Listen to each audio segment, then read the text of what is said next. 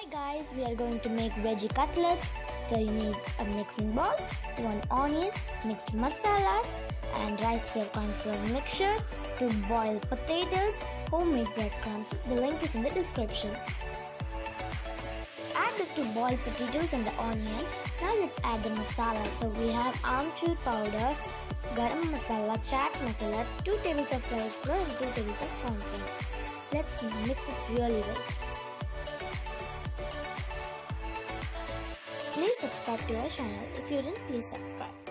So now the corn flour and the rice flour mixture is going to do. So we should dip in once in the corn flour and in the breadcrumbs.